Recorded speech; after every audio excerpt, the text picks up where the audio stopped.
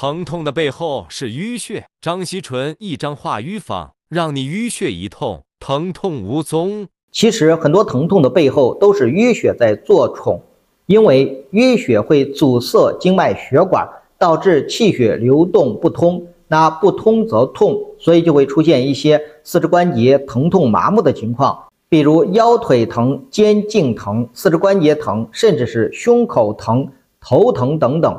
这种疼痛呢，如果不把淤血解决了，那不管用什么强筋骨的药，效果都是不好的。所以今天我给大家分享一个专门化淤血、治疼痛的方子。但在这个之前，我得先教你们判断疼痛是不是淤血引起的。不然用这个方子也是白瞎。首先呢，淤血疼痛最显著的特点就是刺痛，好像有人拿针扎你一样。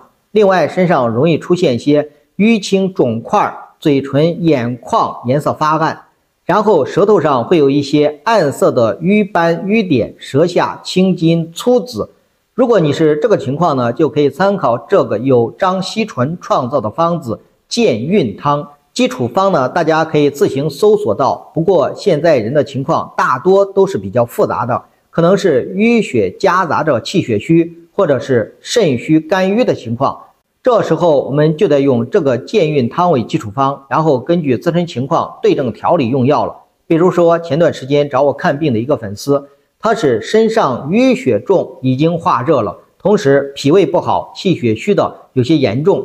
平时除了疼痛外，还伴随着口干燥热、手脚心发热，以及腹胀、腹痛、消化不良、食欲不振，以及浑身乏力的情况。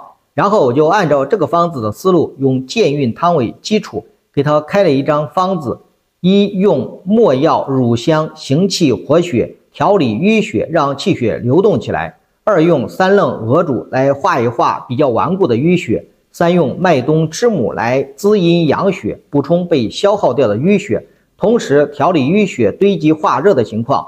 四用人参、黄芪和当归来补充它亏虚的气血。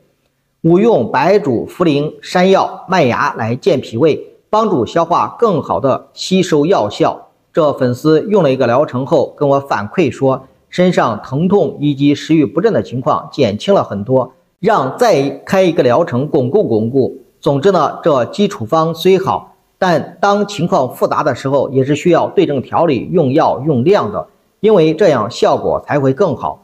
所以，如果你病情复杂，不了解自身情况，最好是线下到附近专业医疗机构找专业医生帮忙调理。大家明白了吗？